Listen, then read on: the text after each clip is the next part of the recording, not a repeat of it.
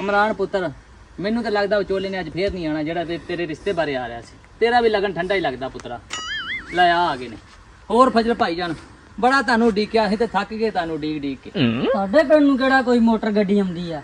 ਹਾਂ ਇਹ ਤੇ ਗੱਲ ਹੈਗੀ ਆ। ਮੈਂ ਤਾਂ ਤੁਰ ਕੇ ਆਇਆ। ਚਲੋ ਬੈਠੋ ਕੋਈ ਨਹੀਂ ਤੁਸੀਂ ਵੀ ਥੱਕ ਗਏ ਹੋਣੇ ਆ।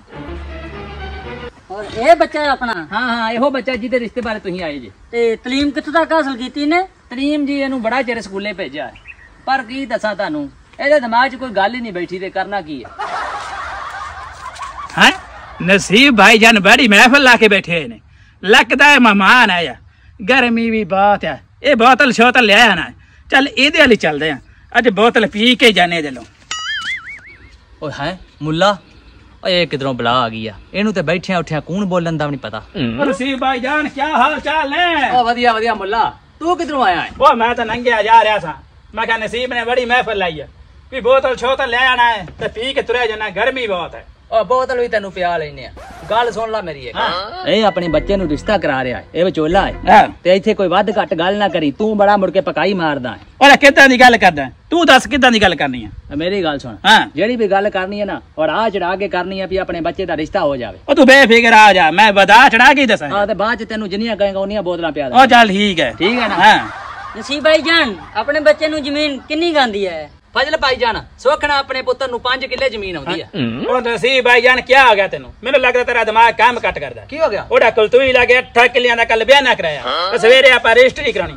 ਮੁੰਡੇ ਤੇਰੇ ਨੂੰ 13 ਕਿੱਲੇ ਪੈਲੀ ਆਉਂਦੀ ਤੂੰ 5 ਕਿੱਲੇ ਦਸੀ ਨਾ ਓ ਮੁੱਲਾ ਮੈਂ ਕੀ ਦੱਸਾਂ? ਓ ਮੇਰਾ ਵੀ ਦਿਮਾਗ ਬੜਾ ਘੱਟ ਕੰਮ ਕਰਦਾ ਯਾਰ। ਹਾਂ ਭਾਈ ਜਾਨ ਸੱਚੇਤਾ ਆ ਗਿਆ। 13 ਕਿੱਲੇ ਜ਼ਮੀਨ ਆਉਂਦੀ ਆ ਆਪਣੇ ਪੁੱਤਰ ਨੂੰ। ਹੋਰ ਭਾਈ ਜਾਨ ਆਪਾਂ ਕੋਈ ਡੰਗਰ ਵੱਛਾ ਵੀ ਰੱਖਿਆ ਹੈ? ਹਾਂਜੀ ਹਾਂਜੀ ਰੱਖਿਆ ਹੈ ਜੀ। ਫਜ਼ਲ ਭਾਈ ਜਾਨ ਆਪਣੇ ਕੋਲ ਸੁਖਣਾ ਪੂਰੀਆਂ ਪੰਜ ਲਵੇਰੀਆਂ ਨੇ ਤੇ ਦੋ ਚੋਟੀਆਂ ਵੀ ਆ। ਆਪਣੇ ਕੋਲ ਸੱਤ ਡੰਗਰ ਨੇ। ਉਹ ਨਸੀਬ ਭਾਈ ਜਾਨ ਕੀ ਗੱਲ ਕਰਤੀ? ਤੂੰ ਕਹਿੰਦਾ ਮੇਰਾ ਦਿਮਾਗ ਘੱਟ ਕੰਮ ਕਰਦਾ। ਉਹ ਤੇਰਾ ਦਿਮਾਗ ਹੀ ਕੰਮ ਕਰਨ ਹਟ ਗਿਆ। ਹੁਣ ਕੀ ਹੋਇਆ ਮੁੱਲਾ? ਚੇਤਾ ਭੁੱਲ ਗਈ ਕੱਲ ਜਿਹੜੀ ਆਪਾਂ ਦਸਾਂ ਮੱਝਾਂ ਦਾ ਸੌਦਾ ਕਰਕੇ ਆਏ ਪਸ਼ਾਵਰ ਤੇ ਅੱਜ ਉਹ ਲੈ ਕੇ ਆਣੀ ਹੈਗੀ ਆ।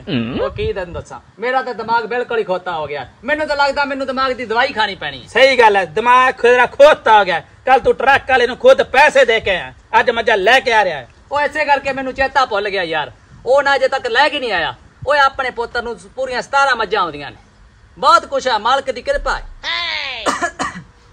ਨਸੀਬ ਭਾਈ ਜਾਨ ਮੈਨੂੰ ਲੱਗਦਾ ਆਪਣੇ ਬੱਚੇ ਨੂੰ ਖੰਘ ਵੀ ਲੱਗੀ ਹੈ। ਉਹ ਫਜ਼ਲ ਭਾਈ ਜਾਨ ਉਹ ਮਾੜੀ ਜੀ ਨੂੰ ਖੰਘ ਆਉਂਦੀ ਆ। ਉਹ ਨਸੀਬ ਭਾਈ ਜਾਨ ਤੇਰਾ ਦਿਮਾਗ ਫੇਲ ਹੋ ਗਿਆ ਈ। ਦਿਮਾਗ ਕੰਮ ਕਰਨੋਂ ਹਟ ਗਿਆ ਈ। ਉਹ ਕੱਲ ਮੇਰੇ ਸਾਹਮਣੇ ਦਾ ਤੂੰ ਮੁੰਡੇ ਦੀ ਡਾਕਟਰ ਕੋਲੋਂ ਦਵਾ ਲੈਂਦਾ ਸੀ। ਤੇ ਡਾਕਟਰ ਮੇਰੇ ਸਾਹਮਣੇ ਕਹਿ ਰਿਹਾ ਸੀ ਤੇਰੇ ਮੁੰਡੇ ਨੂੰ ਨਾਲੇ ਟੀਵੀ ਹੈ ਤੇ ਨਾਲੇ ਬਵਾਸੀਰ ਹੈ। ਉਹ ਮੁੱਲਾ ਤੂੰ ਕੀ ਪਕਾਈ ਮਾਰੀ ਜਾਨਾ? ਉਹ ਮੈਂ ਕੀ ਕਹਤਾ ਭਾਈ ਜਾਨ? ਉਹ ਫਜ਼ਲ ਭਾਈ ਜਾਨ ਤੁਸੀਂ ਕਾਹ ਉੱਠ ਪਏ? ਤੁਸੀਂ ਤਾਂ ਬਹਿ ਜਾਓ। ਰਹਿਣਾ ਕਿਆ ਹੈ? ਭਲਾ ਵੇ ਮੁੱਲਾ ਬਾਈ ਦਾ ਜਿਹਨੇ ਬਗਾਨੀ ਧੀ ਬਚਾ ਲਈ ਹੈ। ਉਹ ਗੱਲ ਤੇ ਸੁਣੋ।